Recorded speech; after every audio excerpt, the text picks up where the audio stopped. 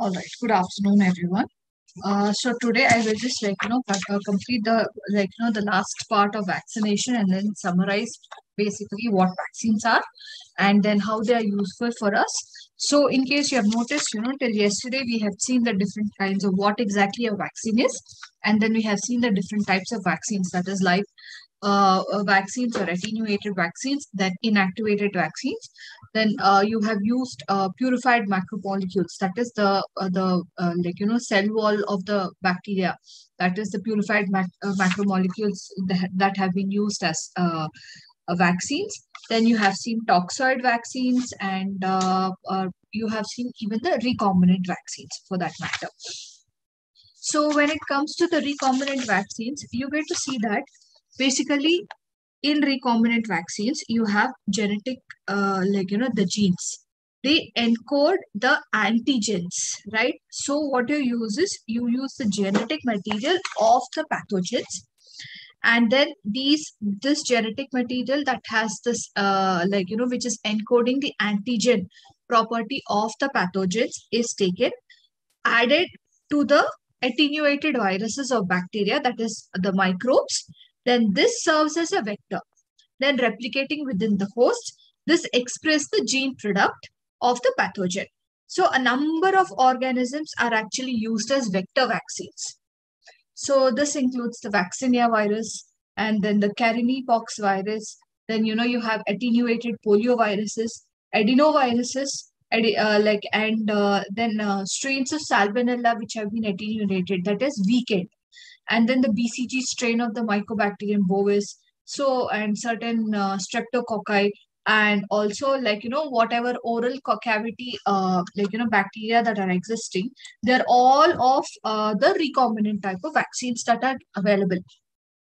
And recently, you have another type of vaccines that have come up that is the DNA vaccines, in which what happens is the plasmids, which the DNA, like you know, the plasmid DNA, this has the antigenic protein. This is injected directly into the muscle of the patient or the recipient. So these muscle cells take up the DNA and then along with the DNA, the encoded proteins are coming up. This leads to humoral immunity and then later the cell mediated responses. So this is one approach, which is a DNA vaccine. You inject it directly into the cells. Another approach is that you have the genetic material along with the antigen or the antigens against which you have the immune response elucidated. So body's own cells then use this genetic material to produce the antigens. Then again, towards this antigens, antibody reaction is seen. So this potential advantages is that, you know, you have a very long-term immune response and that this kind of vaccine is very stable in the body and relative large-scale uh, manufacturing can be done at the same time. So there have been quite a number of DNA vaccines that have been identified and uh, they have been using. So one is uh, like, you know, you have SARS coronavirus, which is slightly different from a variant different from the normal COVID, whatever we are experiencing or we are exposed to right now. So this was in, so it's the SARS, the SARS virus basically. Then against the avian influenza, that is, you must have heard the H5 uh, N1 avian influenza virus in the year 2005. There was an, uh, like, you know, it was a pandemic basically, because of which, uh, you know, many of the Southeast Asian countries had this uh, H5N1 avian influenza that they had experienced. Uh, it had come because of the exposure towards uh, poultry, basically and then Zika virus in the year 2016. So in 2016, some of the African countries had been experiencing the Zika virus, because of which, you know, uh, this DNA vaccines have helped in this. Go to Nana. So this is all about the DNA vaccines.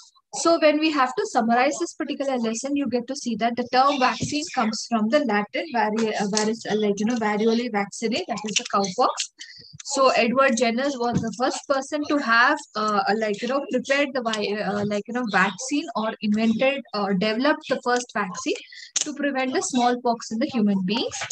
This vaccines give us the artificially acquired immunity. And then this is a less risky way to become immune in fact. And they also prevent the disease from coming again or recurring in the first place. So it is uh, like you know rather than you know after being infected with a particular uh, uh, illness instead of being affected first and then you know curing later a vaccine is wherein you know you introduce the pathogen and then you elicit an immune response so that next time you when you're exposed to the same kind of uh, pathogen then your body can uh, like you know prepare antibodies so that you know you do not or you are not affected with the same kind of pathogen. So this is definitely you know uh, cheaper. So you can actually say you know the prevention is better than cure actually applies in this particular area so, and again, scheduling of the vaccination is also important. Overexposure to different kinds of uh, vaccines or pathogens at the same time in the like in the form of vaccines is also not good because usually you give a vaccine uh, vaccination or the vaccines to young children, that is infants and children. So overloading the children with different kinds of pathogens at the same time will also not work. So schedule them in proper doses and at different times of the uh, like you know the growth. And then four types are again there, live attenuated, inactivated, purified uh, macromolecules and the DNA vaccines.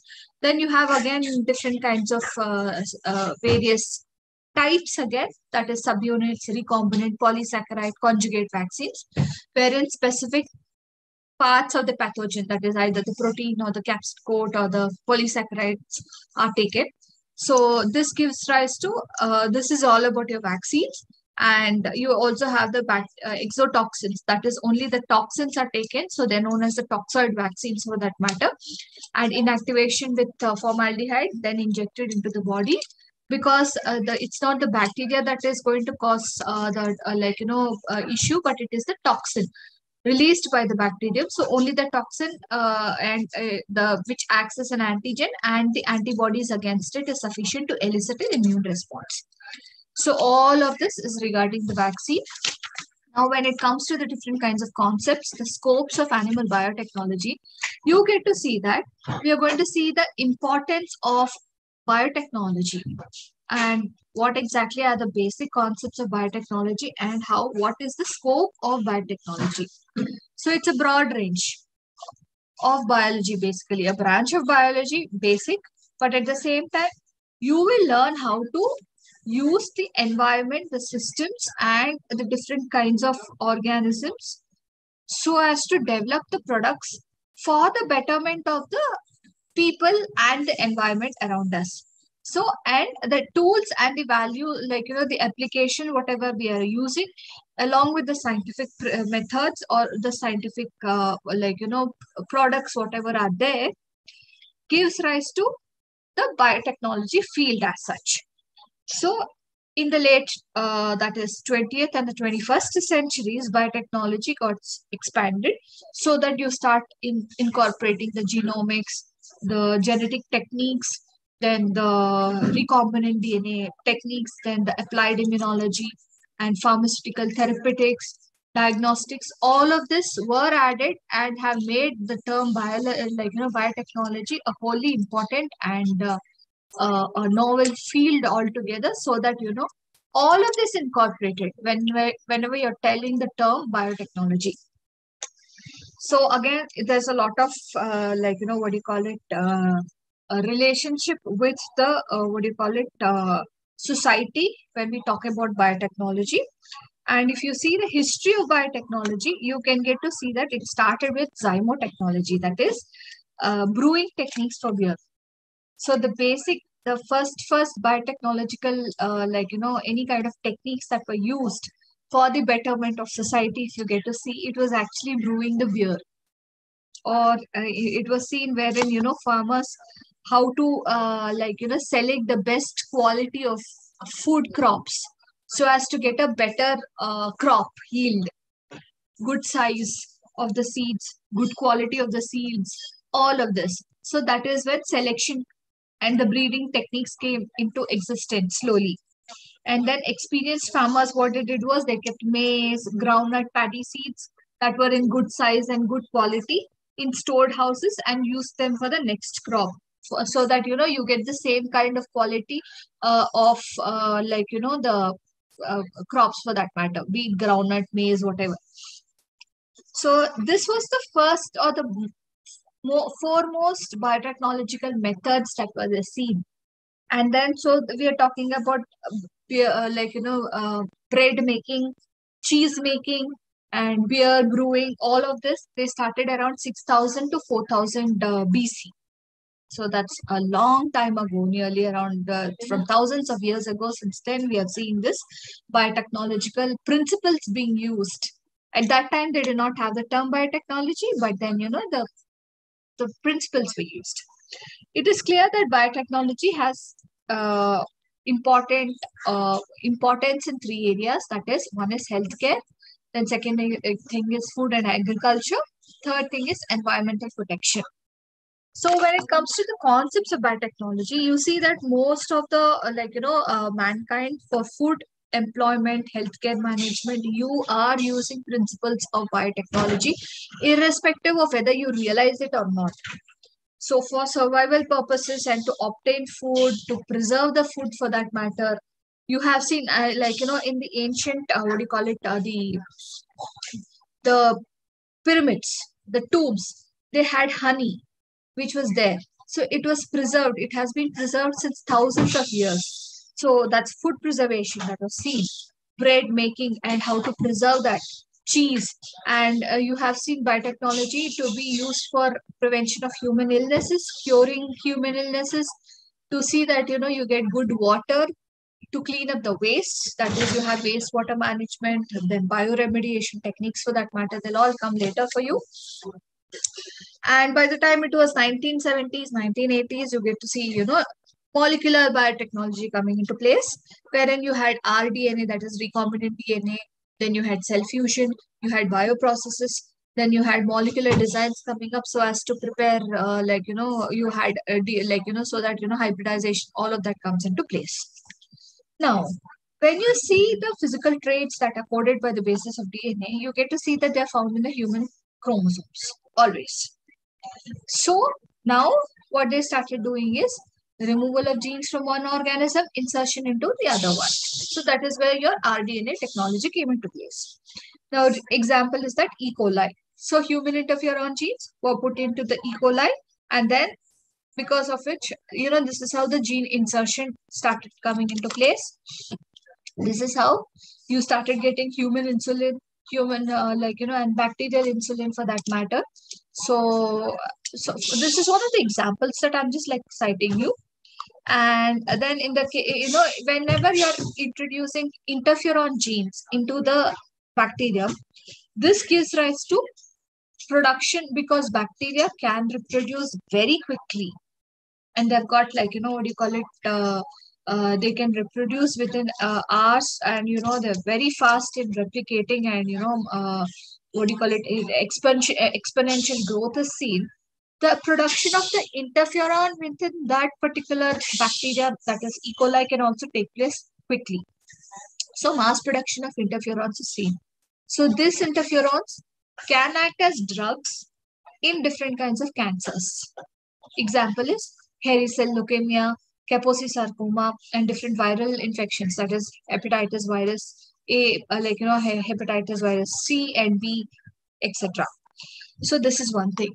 And same principle for fusion of two different cells, one nuclei from one cell and the uh, like, you know, the other cell being without enucleated. So you're doing cell fusion. This is how production of monoclonal antibodies can take place. So this is again going to help you in production of antibodies, which is necessary in treatment of different kinds of, uh, like, you know, what do you call it, um, infections and different kinds of cancer as well. So you have your monoclonal antibody uh, uh, process of production. Also after this, a group which is there for, which is known as bioprocess technology is a series of engineering technologies which allow genetically engineered cells and hybridomas and different kind of cells that can be grown for in large quantities so that you can have production of drugs in the mankind. This is one thing. And then you also have the mammalian cells producing the tissue plasminogen activator, that is TPA, or it's, no, it's also known as PLAT. This is used in breaking down of blood clotting. Today you have medicines such as ecosprin, that is your aspirin and clopidogrel, which prevent the blood clots. But if at all there is a blood clot that is already there, how is it that you're going to break them down? This is by using such kind of medicines that is you know which has uh, like you know enzymes basically to break down the blood clot that is serine protease. So that is your tissue plasminogen activator tpa or plat it's known as. This can be uh, grown in the mammalian cells basically using biotechnological techniques so again, you have structure-based molecular designs and computer-aided drugs. And uh, they're all, uh, again, you know, uh, so that, you know, wherein an enzyme or a receptor is uh, like, you know, made. Enzyme hypothesis, again, you have lock and key hypothesis. Basically, it's all about enzyme being, you know, activated so that, you know, enzyme plus uh, uh, like, you know, the substrate gives rise to, gives rise to the product. So which is either the drug over here, basically. So this is used along with the uh, like you know uh, uh, molecular designs using the like you know computers. So that you know this will actually help in production of the new drugs discovery and at the same time production of new drugs which can be used for other uh, like you know uh, uh, disorders wherein you do not have medicine so far also, right now you have diseases wherein drugs have been discovered which can block the enzymes or the receptors which are a key position wherein you know because of which uh, like you know the disease the pathogen cycle life cycle can be stopped or that particular disease will not go forward. So example is the hiv protease. This is an enzyme wherein you know it inhibits the growth it, it, these are the protease inhibitors basically. So what they do is they are like, you know, these protease inhibitors are something similar to the peptide, uh, like, you know, uh, peptides that are present. So what happens is they inhibit the action of the viral, that is the HIV virus is aspartyl protease. So the protease inhibitors go and block the aspartyl protease action in the HIV viral replication. Because of which what happens is proteate, uh, pro, prote, proteolytic cleavage of the HIV's GAG and POL proteins is not taking place. These two are polyproteins basically, which is in the essential structure and the they're the components of the virus for that matter HIV virus. So when that proteolytic cleavage is not taking place, replication gets arrested because of which further replication will get stopped and the virus is inhibited in that particular cycle itself. So these are the different kinds of uses in the biotechnology that you can actually see and you know the concepts of it. When it comes to scope in biotechnology, you have a lot of fields. Biotechnology uh, uh, techniques can be used in microbiology, molecular biology, then uh, biochemistry for that matter. So everywhere there is an incorporation. Whenever you're talking about biology, it is not or it is not without biotechnology in it. So in the case of medical biotechnology, you can get to see that there is something called as red biotechnology, production of medicinal drugs, which can be proteins, nucleic acids for that matter. Then you have a lot of synthesis that is taking place with the help of microorganisms. And also for therapeutic, you, you use, like I already told you, humulin, that is the human insulin. It is uh, made with the help of the rDNA technology. So human insulin is replaced with the pig insulin and this was used and you know slowly what happened was because of which humulin got produced and now instead of pig insulin you're using the bacterial insulin. It has made production of insulin much more uh, like you know you can produce more insulin in bulk at a less cost of price because bacteria replicate faster and another uh, uh, uh, like you know uh, place where biotechnology is very useful is gene therapy which has come up right now. And you know a lot of uh, diseases uh, which are genetic in nature have been diagnosed and treatment also is being according to the like you know what do you call it the biotechnological processes they're looking at uh, what do you call it um, the nanotechnology wherein you're using very small nanobots basically so as to treat cystic fibrosis which is actually a genetic disease. So that is one of the methods wherein they're exploring gene therapy for that matter. So in gene therapy what happens is manipulation of genes is done so that defective genes whatever is there it gets corrected. And in this process the genes are inserted deleted modified. So you can do like you know uh, so frame shift uh, gene therapy can be done over here. And then incorporation of otherwise incorporation of functional genes into an unspecified genomic location so that the mutated or the dysfunctional gene whatever is there is being replaced altogether so this is that is one place where you're using uh like you know biotechnology and when it comes to industry, a lot of industries work on only basis of biotechnology. For example, is alcohol industry. Then production of antibiotics. Whatever antibiotic today you're taking, it is because of the principles of biotechnology that are being used in the production of antibiotics. And a large scale of pharmaceutical drugs, chemicals, and there's uh, like you know byproducts or substrates, whatever is necessary they are being produced biotechnologically with the help of microorganisms and different kinds of biotechnological techniques. So lactic acid, glycerin, and uh, genetic engineering for that matter is being done so as to produce the better quality drugs. And it has it is very uh, efficient and has proven to be very economic for production of the immobilized enzymes also. And when it comes to environment today, you know that we are facing a lot of environmental challenges as such. Global warming is one big, uh, like, you know, issue that we are facing with. And a lot of plastic that is being produced. Plastic takes hundreds and thousands of years to degrade. A simple baby's diaper takes around 400 years to degrade. And a plastic bag takes around 100 to 200 years to degrade so how is it that we are going to actually uh, help? Whatever has been you know polluted in the last 100 years say right from 1900s onwards and 1920 1930 onwards you get to see they're still existing over here. You have tin cans the coke cans for that matter. They are not biodegradable. So how is it that we are going to combat such kind of thing? And at the same time disasters or accidents you have seen you know oil spills then sewage that is being produced and then there's a lot of biogas that is methane that is being produced. All of this you know there are certain bacteria which can actually cut down on the plastic. There are certain bacteria that have been you know discovered that cut on the nylon ropes for that matter and plastic eating bacteria and oil spillage eating bacteria. All of these were genetically engineered and then they were uh, uh, like you know left into that particular environment so that we get less harmful uh, uh, products harmful less harmful to us as well as the environment around us.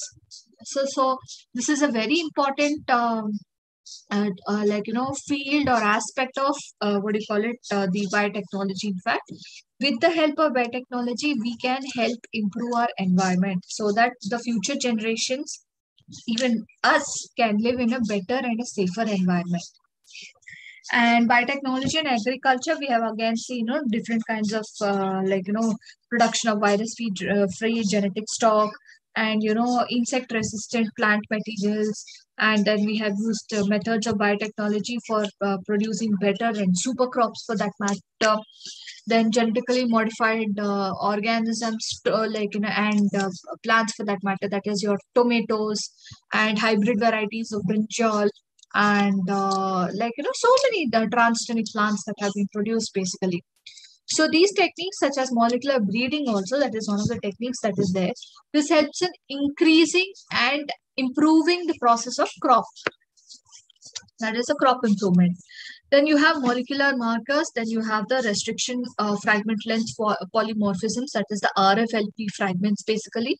Then you have simple sequence repeats. All of this provide tools for indirect selection of qualitative and quantitative qualities or traits so that you know they also help in studying the genotypic diversity now when it comes to the branches of biotechnology you have different kinds of branches again So when it comes to red, red biotechnology, it is for basically production of medical procedure, like, you know, used in the medical procedures, production of new or novel drugs, stem cell research, and uh, gene therapy. So this is all you can call it as medical biotechnology. Green biotechnology is for agriculture and agricultural uh, processes basically so that you develop uh, like you know insect resistant uh, grains then you know help in uh, production of uh, genetically modified organisms for that matter or uh, plants. Blue biotechnology pertains to the marine or the aquatic environments. This so that you know noxious waterborne organisms whatever are there toxins are not are released if at all it's there then you know you basically try to uh, cut it down. Also like you know against the oil spills and all such kind of things and white biotechnology or gray biotechnology industrial biotechnology production of new chemicals or development of new fuels for vehicles. So that you know your vehicles also release a lot of gases. This causes pollution. So that you use biotechnological techniques so that you know new fuel which releases less pollutants at the same time more uh, economic that is you know for example if one liter of petrol in a particular car gives around like you know uh, only around 5 kilometers uh, you use biotechnological methods to produce a fuel wherein you know this particular one liter gives around 10 kilometers. And at the same time your vehicular exhaust and you know your greenhouse emission is cut down.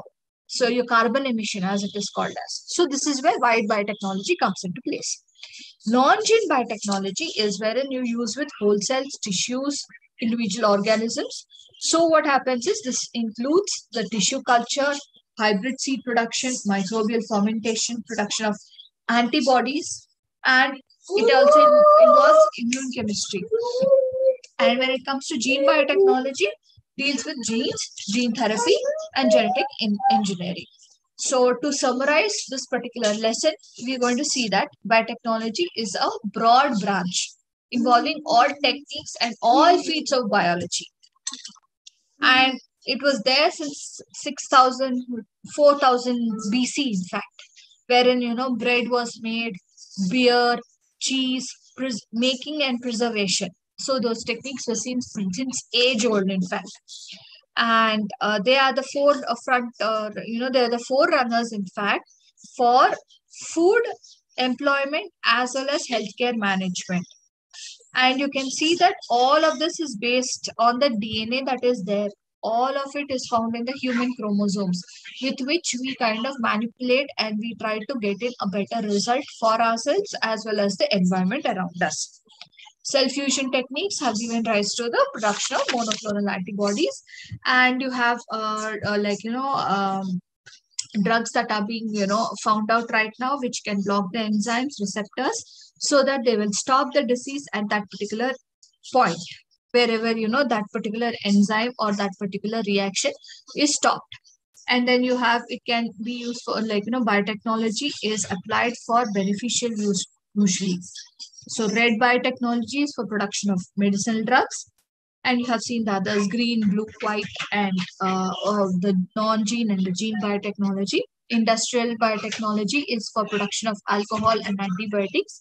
Environmental problems such as pollution, depletion of natural resources, non-renewable energy, biodiversity conservation, all of this can be dealt with using biotechnology. So this is all about the lesson and the topic biotechnology for that matter, like, you know, in the scope of biotechnology. Now I will start with unit 8, which is molecular techniques in gene manipulations. So when you see that, you get to know that, you know, basically uh, all of us are made up of cells. Cells have chromosomes, nuclei, chromosomes, and on those chromosomes you have genes. So in case you have an issue, then you know you can do gene manipulation so that this will help in production of recombinant DNA. This results in the formation of monoclonal antibodies and at the same time you can do production of uh, what do you call it uh, multiplication of the antibodies that are present or multiplication of the gene product itself that is done by a technique which is known as pcr that is polymerase chain reaction wherein the gene amplification is taking place. Now first time gene manipulation was actually used in agriculture for the quality improvement of the quality of the plants so it was seen in 2001 in native corn, that is Mexican corn. And now you, know you, use of this in human beings is being done right now, but it's a complicated process. And of course, there's a lot of research going on based on that particular, uh, what do you call it, uh, uh, uh, uh, uh genetics, in fact. So as you see, today you use the uh, bacteria for production of human hormones such as insulin, like, you know, very common example. Then uh, you use, uh, like one is the hormones, that is the insulin. Then you can use E. coli to produce the interferons, like I just told you. And you can produce human growth hormone and other hormones a lot of stuff can be produced a lot of enzymes can be produced uh, like you know so that you know uh, for example lactic acid is produced by the lactic acid bacilli. This is this uses you know biotechnological methods. And for fermentation alcohol fermentation you use um, uh, what do you call it uh, uh, microbes microorganisms. So there are and basic example for that you know for that matter if you see the curds in your house the curdling of the milk so that you know the milk turns into curds is we're using the starter culture. What is the starter culture that is uh, that is being used? A spoon of other curds. You just add.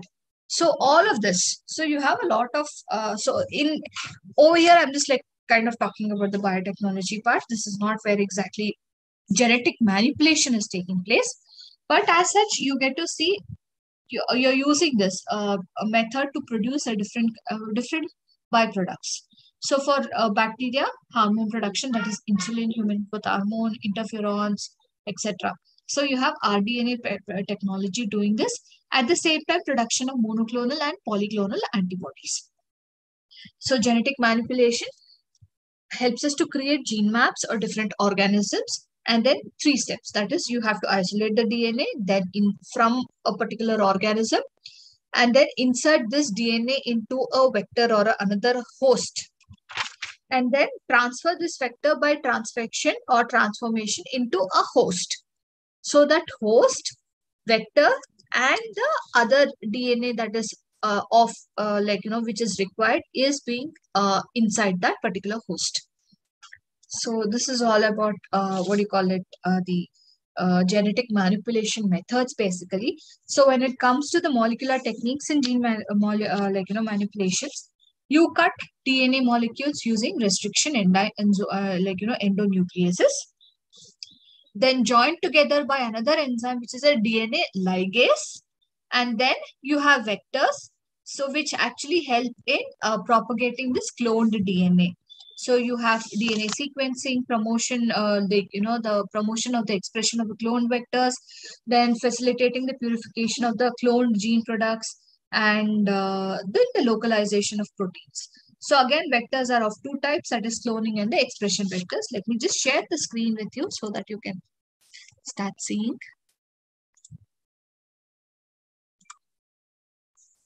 So when it comes to vector, what exactly is a vector? And uh, these are the cloning vectors basically that are there.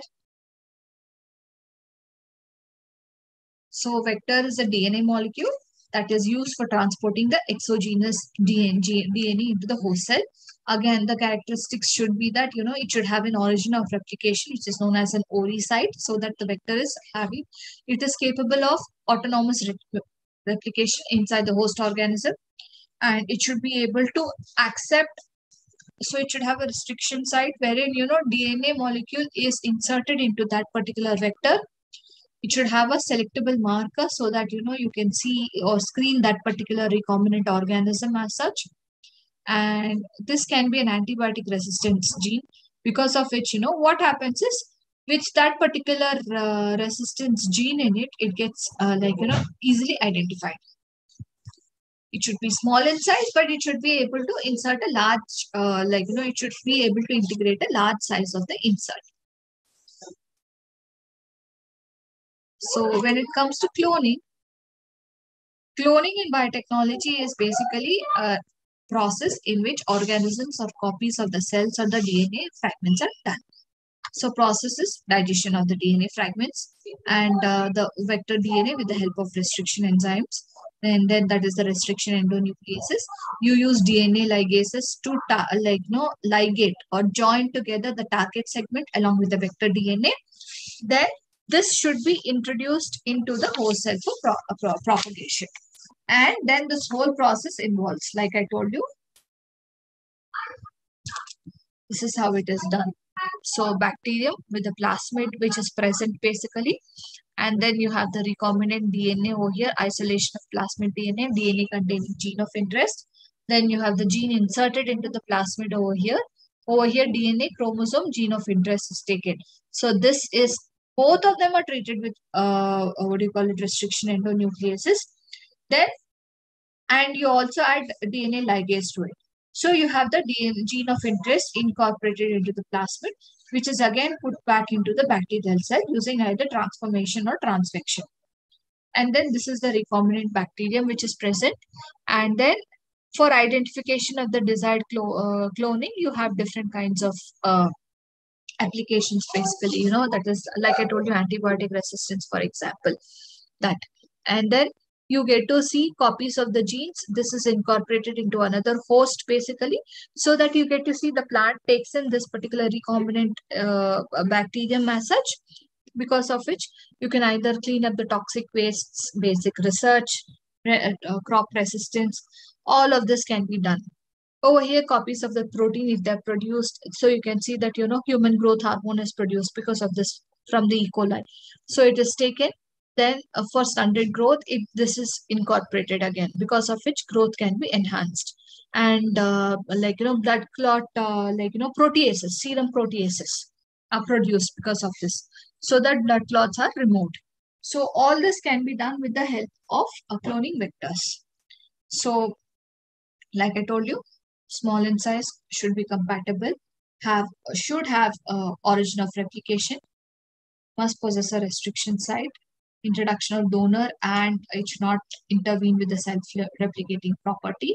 Selectable marker, that is uh, uh, antibiotic resistance mostly, is used and donor fragment should not interfere uh, with the self-replicating property of the cloning vector. Selectable marker is added again. So this is one of the example of uh, cloning vectors for that matter. So in your book, it is given uh, like, you know, the PBR 322, that is plus, uh, plasmid Bolivar and Rodriguez. PBR 322 is given basically. So these plasmid vectors, you have different kinds of features, right? Like I told you. So you should have a set or sequence of nucleotides which help in, you know, replication initiation. Then autonomous replication inside the cell, it should take place then foreign DNA should be attached to the ORI site itself so that, you know, replication starts from there. And then you also should have a cloning site, which is for the analysis for the genetic engineering. Then you have a vector DNA at the site that gets digested. Foreign DNA gets inserted with the help of the restriction endonucleases. And then you have this, uh, so you have plasmids, which are actually very good uh, vectors basically. They're naturally occurring extra chromosomal DNA basically, which help in um, yes so they are the first vectors to be used in gene cloning they are naturally occurring and not autonomously replicating uh, extra chromosomal double-stranded circular DNA molecules. But uh, then they are present in bacteria, archaea, eukaryotes. Sizes are from around 1 to, uh, that is, you know, 250, that is 100 to 250 kilobases basically and uh, then you see that you know a DNA insert of up to almost 10 kilobytes uh, like you know kilo kilo bases can be cloned in the plasmids they have high copy number that is useful for production of more number of plasmids basically. And a low copy number plasmids are exploited under certain conditions like cloned gene products wherein protein whatever is produced is toxic to the cells so both the, both the type of plastids having high copy number and low co copy number are used for production in our DNA technology. And plasmids encode the proteins that are essential for their replication. These protein encoding genes are located near the ORI sites again. So this is about the plasmids. And one more thing is, you know, basic criteria is to have, uh, what do you call it? Uh, they, you know, they should be able to be easily isolated from the host cells. And it should have a single restriction site for one or more restriction uh, enzymes. And insertion of a linear foreign DNA at one end of the site should uh, take place so that it does not alter the replication properties. So it can be reintroduced into the host cell. All of this is taken into consideration. So over here, they have actually given you uh, given an example of uh, PBR 322 for that matter. So I'll just like kind of uh, um,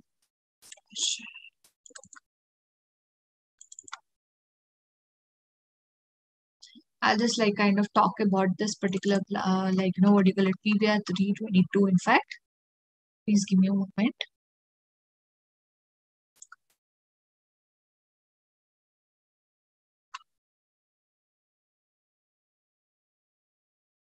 I would like to continue the class for the next 10 minutes so that this particular topic will get over. Uh, so it will take another 15 to 20 minutes easily. That is, you know, after 2.30. So up to 2.45, I will continue the class.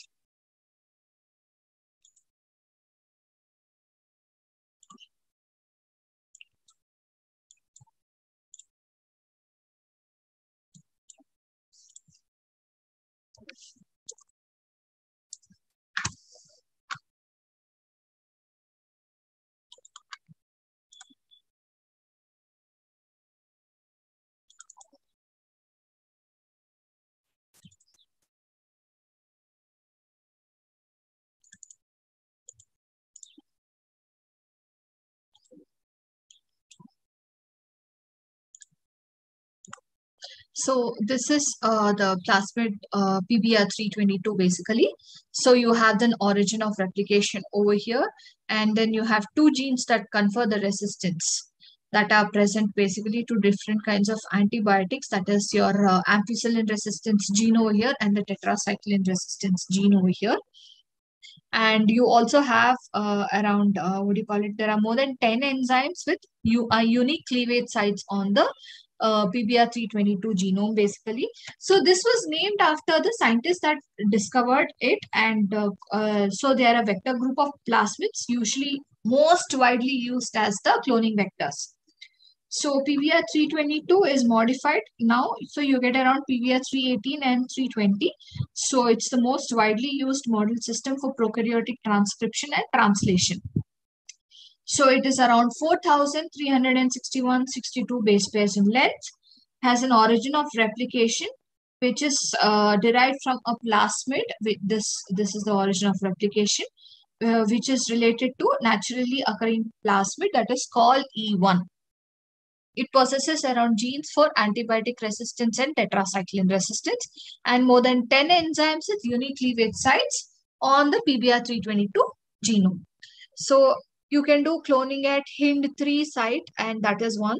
And then you also have the, uh, uh, like, you know, this, uh, like, you know, if at all cleavage is done in that particular place, you have loss of tetracycline resistance over here another uh, vector you can use that is uh, like you know you have pbr 327 again derived from this basic pbr 322 so if at, if at all you delete nucleotides between 4, 1427 to 4, uh, 2000 uh, 2516 so what happens is reduction of the sizes taking place and then anti uh, like you know they also again uh, possess the two antibiotic resistance genes Again, like I told you, several unique recognition sequences, EcoR1, BAM-H1, around 10 enzymes, uh, uh, like, you know, cleavage sites are present over here. And then you have a plasmids, uh, that is University of California and uh, PUC, that is your PUC 19 and uh, uh, uh, that is one thing. This is the PBR 322 like I told you.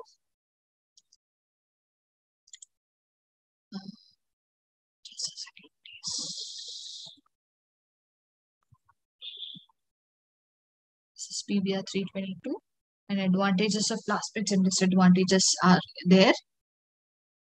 So in PUC vectors, what is it? PUC stands for uh, Plasmid uh, University of California, basically. So this is the vector base. And in this, uh, it's small in size, again, can, really, uh, can carry relatively large DNA inserts.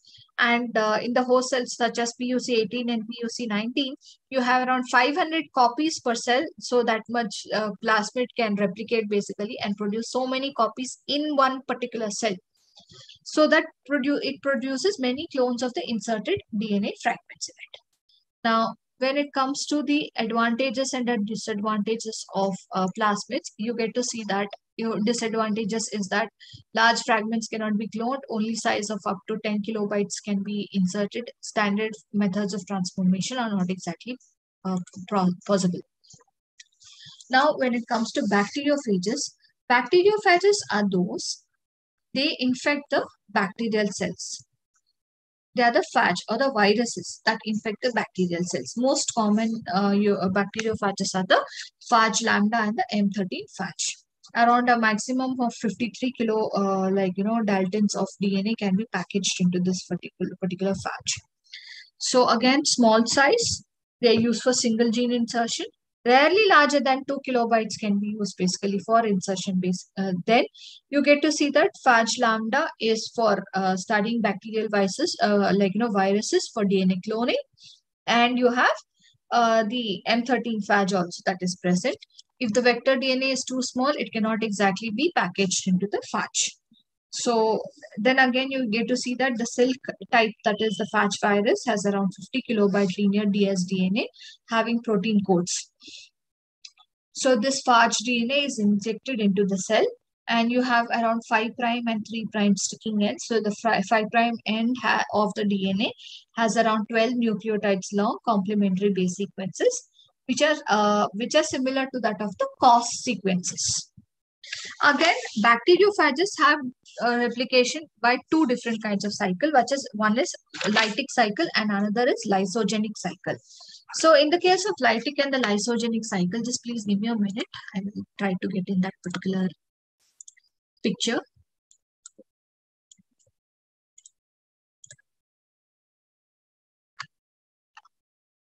So when uh, bacteriophages uh, replicate by lytic and lysogenic cycles, you get to see that uh,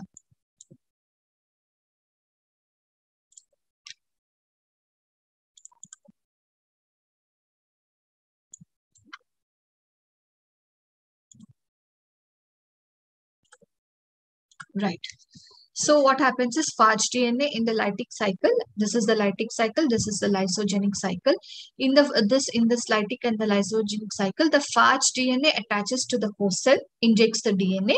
So this is the bacterial chromosome, and the phage, uh, like you know, the outer, uh, uh, like you know, uh, the whole capsid and the uh, sheath and the base plate, all of it comes out. It is only the phage DNA that is getting incorporated. Now this circularizes and either enters into the lysogenic cycle or what happens is production of new DNA, new phage DNA and proteins are synthesized. These get assembled into virions. Then what happens is it because of the cell lysis takes place releasing all the phage virions, virions and at the same time even the capsid protein and the sheath everything else you know what is necessary for the phage to the bacteriophage to be produced is product uh, produced because of which what happens is you know you have a complete bacteriophage produced again which might enter into the lytic cycle or again this DNA circularizes, enters into the lysogenic cycle, wherein what happens is this phage DNA integrates within the bacterial chromosome by recombination. So it becomes a prophage. This prophage, what happens is after like, like you know, many cell divisions, so bacterial uh, replication is taking place, reproduction is taking place. Finally, what happens is, you know, it again like, you know, is integrated with the bacteria. Otherwise, what happens is it comes out in the form of uh, like, you know, this um, production of the phage DNA in the uh, takes place and this will come out excised from the bacterial chromosome and after another recombination event it can enter into the lytic cycle so this is what happens in the lytic and the lysogenic cycle basically. So this recombinant phage, uh, lambda phages that are available or that are able to transform the E. coli at high efficiency is it is achieved by the in vitro packaging system that is mimicked uh, by the wild type of phage DNA, so which is actually packaged in the protein code. So this results in a higher infection efficiency. So several cloning vectors have been developed by just modifying this particular lambda phage genome. You also have replacement uh, phage vectors or lambda vectors. So what happens is the lambda genome that is present at some uh, points, the lambda genome that is present at the uh, phage lambda gene. This is the phage lambda with the DNA in the capsid and um, this is the protein code basically. This is the tail proteins that are present. This is the phage DNA.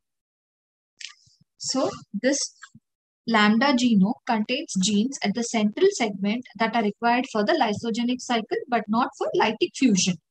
So you can use replacement lambda vectors by replacing this DNA segment with our gene or DNA of interest. So when this is done, so foreign DNA up to 23 kilo uh, base pairs in length can be used in such kind of vectors. And they're normally used for making genomic DNA libraries. Example is EMBL3 and EMBL4 that is given in your textbook. And also you have insertion phage uh, or the insertion lambda vectors. In this, what happens is uh, you can, uh, uh you know, these vectors are used for making cDNA libraries by modification of the lambda vectors basically so that you know they kind of um, uh, uh, so that you know uh, uh they permit insertional cloning into the CL1 gene basically. So example is uh, like, you know, lambda GT10, which is around 43 kilobase pairs in uh, dsDNA that is used for cloning fragments that are only around uh, 7 to 10 kilobase pairs long. So insertion uh, of this foreign DNA inactivates the C1 gene and then it generates a Cl minus phage. Then this is uh, again, you know, recombinant Cl plus phage is present. Plaque formation is seen in the host cells which are E. coli and then formation of the pla uh, clear plaques in the E. e. coli is also seen because of it. Then you do the screening, then, you know, lysogeny mutation loss and uh, such kind of tests to easily obtain or select the phage GT10 plaques which are selected then. So when it comes to the other different kinds of vectors, you have cosmids. They are again plasmids capable of incorporating the bacteriophage lambda DNA segment at the cohesive, uh, like, you know, terminal sites, that is the cos sites. They're necessary for efficient packaging of the DNA into the phage particles. And then large DNA fragments of size varying from 25 to 45 kilobase pairs can be cloned, packaged into the lambda, permits the foreign DNA fragments or the genes to be introduced into the host uh, organism by transduction. Again, advantages is that you have multiple cloning sites, you have inducible lag gene promoter, which is present basically blue-white colony selection. All of this can be done. Now we have Fajpit vectors. Let me just like see what is vectors.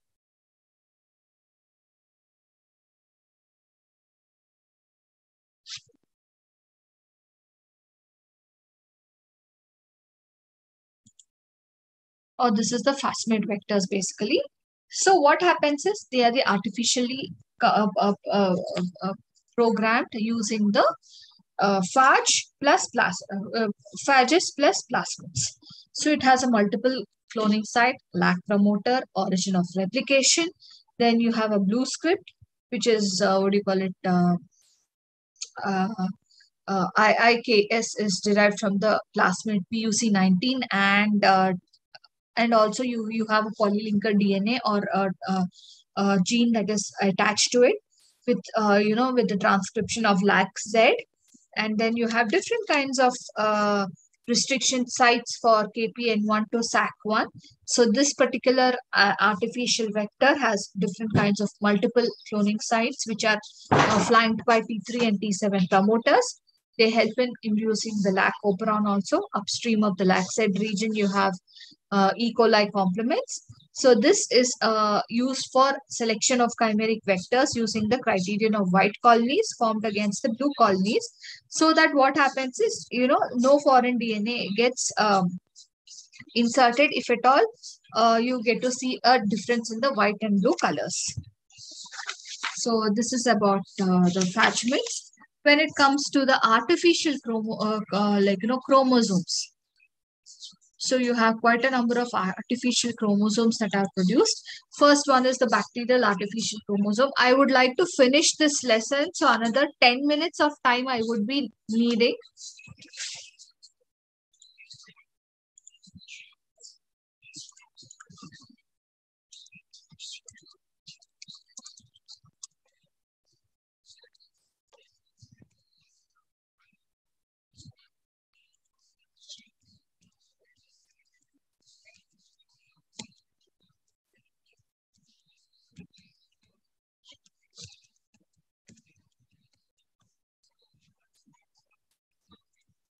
So in the bacterial artificial chromosomes, they're again similar to the E. coli plasmid vectors, having ORI genes and genes that encode the ORI binding sites as well. So this is critical for the bacterial artificial chromosome replication. Again, they are derived from naturally occurring F plasmids that are present and uh, F, the F factor plasmids basically. And then you can insert about DNA, which is around 150 to 350 kilobases and uh, so what happens is because of which you can um, advantages is you can insert large sequences of DNA without any kind of rearrangement that can take place. For uh, studying genetic disorders, basically, it can be used bacterial artificial chromosomes. High yield of DNA clones is obtained, but then disadvantages, they are present in low copy numbers then the eukaryotic DNA inserts having repetitive sequences are not exactly stable in the bacterial artificial chromosome because of which deletion or rearrangement risk is there. When it, when it comes to the uh, bacteriophage artificial chromosome vectors, let me see if I got that.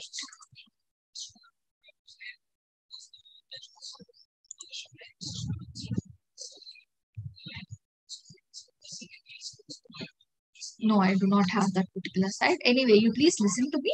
So what happens is in bacteriophages, P1 and period-derived artificial vectors, that is the PAC vectors, they have large genomes, so it can accommodate larger DNA sequences or fragments for that matter.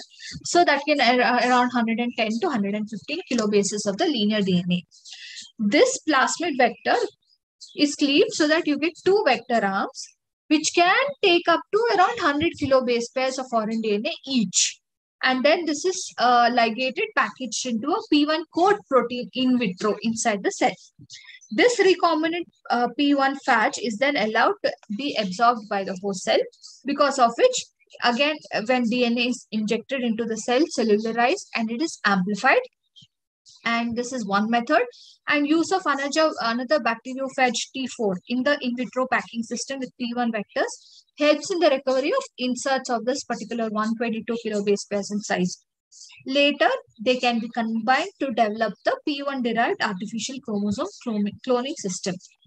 Now, when it comes to the yeast artificial chromosome system, what happens is, again, up to 200 kilobase pairs of the, uh, like, you know, DNA can be cloned and inserted. Used for cloning inside the eukaryotic cells, inside the eukaryotic uh, host cell that is. So, and it has a yeast telomere also. So you have a yeast centromere sequence that is a SEN sequence which is present at which, which allows proper segregation during the meiosis. And then again, ORI site is bacterial in origin. So you have both yeast and bacterial cells that can be used as the host over here. So ORI sequence, that is the ARS, uh, that is autonomously, uh, like, you know, what do you call it? Uh, uh, autonomously replicating sequence allows the vectors to replicate inside the yeast cells and restriction sites with uh, using the foreign DNA can be inserted. And for cloning, what you do is a circular YAC is cut with an extra restriction enzyme. Then with, in multiple cloning sites basically and this can be cut between the two tails that is C telomeres. And you can also attach high molecular weight DNA and uh, ligate it uh, to the two arms basically. So large amount of DNA can be cloned. Physical maps of uh, large genomes can be uh, constructed, but the disadvantage is that overall efficiency is low. Cloned DNA is also yield is also low. Now, uh, yeast uh, resulting YAC, that is, you know, yeast artificial chromosome, cannot be transfected directly into the yeast cells and they have to be treated first and then that is when you know you can uh, like you know create this particular yeast artificial chromosomes. So when it comes to cloning and the cloning methods another five minutes and your class will be over. Please be patient. So we have different kinds of cloning and cloning methods basically which is naturally occurring reproduction and then you have clones. That is the exact copy of the particular uh, what do you call it um, uh, a cell for that matter or for, like you know uh, you know um, the organism. So cloning of single celled organisms can be done. For example organisms like bacteria yeast. So you can inoculate and then you can slowly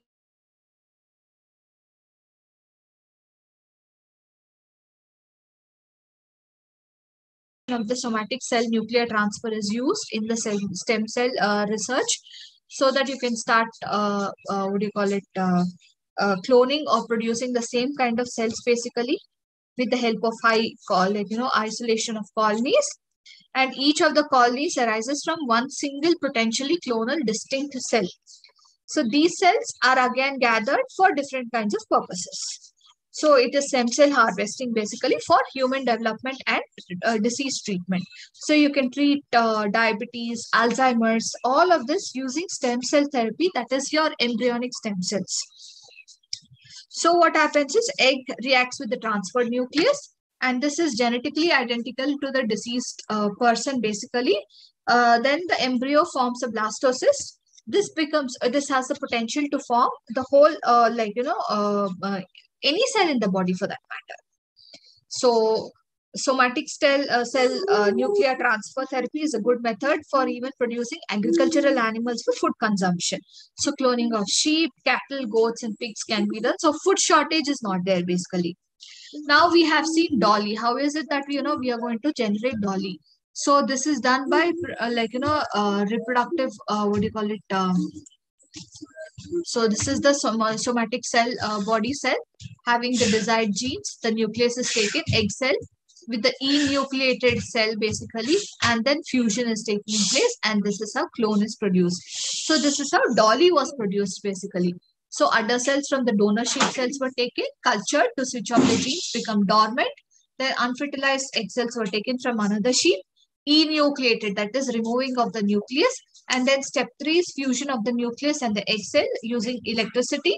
And then resulting embryo was implanted into another sheep, that is surrogate mother, gestation. That is how Dolly was produced. So when it comes to the last part of our topic today, that is the gene cloning, you get to see that in gene cloning, you have the cloning vector. Again, molecular cloning only you have the amplified gene products that are taken basically. And in this you know you take up the linearization of this restriction enzyme uh, endonuclease uh, like you know en uh, endonuclease enzyme cleavage. And then over here dna is taken fragments. Again in uh, like you know with the restriction in uh, endonucleases you have the genome fra fragments. Ligation collection of the different vectors of with the inserted pieces of the cellular DNA, introduction of the vectors into the suitable host cells, and collection of the cell colonies, each containing the donor vector with different genetic insert. So fragmentation, ligation, transfection, screening or selection. All of this is taken place so that, you know, when uh, successful transfected DNA is there along with the host DNA, that is gene in uh, gene of interest, along with the uh, cloning vector. So if this is done, you know, again, uh, what happens is DNA of interest after you have taken all of this, it is uh, isolated, suitable size fragment is taken. Then you have different kinds of techniques such as the chemical sensitization, electroporation, insertion into the host, and again, you know, collection for the colony's desired sequence is inserted. And you get what you want. That is gene of interest in, inside the vector cell. So again, modern cloning vectors include selected antibiotic resistance markers, which allow only the transfected vectors to grow further. So this is all about uh, this particular uh, lesson, your uh, uh, uh like, you know, uh, the molecular techniques in gene manipulations. So summarization is uh, uh, vectors are, you know, used for, uh, they are the autonomously replicating genetic elements. They are of different types and sources uh, based on that, there are plasmids, bacteriophages, cosmids, phagmids, and artificial chromosomes. They are naturally occurring extra chromosomal double-stranded DNA molecules that replicate autonomously within the bacterial cells. And then after that, they replicate in E. coli.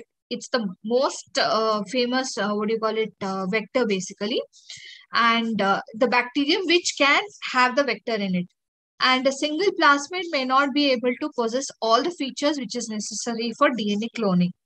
Now, these infect the bacterial cells. They are used as cloning vectors, which are small size plasmids are the best for the gene, single gene insertion. Insert rarely larger than the 2 kilobytes, uh, kilobase pairs basically. Viral DNA replicates initially are bidirectional and subsequently they result in the rolling circle model that is linear multimers of the virion. virion. The lambda genome has gene that is homologous to that of the E. coli chromosome. They are again formed by inserting the cos sequence uh, of the phage into a small plasmid vector. So this forms uh, phages with plasmids. Then vectors for cloning DNA in the bacterial cells have high to moderate number of replicas. And uh, then construction of this yeast artificial chromosomes provides more advantages over cloning in the bacterial cells. So this can help us in cloning very large DNA fragments for different kinds of purposes. So this is all for today's lesson. Tomorrow, I like, you know, the next week, that is the 20th, I will deal with the animal cell culture and the subsequent lessons, that is the stem cell as well as the gene therapy. So thank you so much.